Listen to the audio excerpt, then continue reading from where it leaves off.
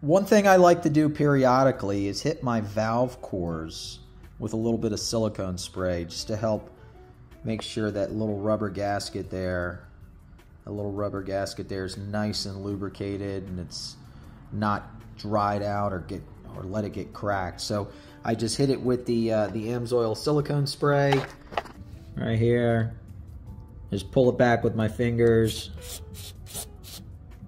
Stick it back in here and then snug it up.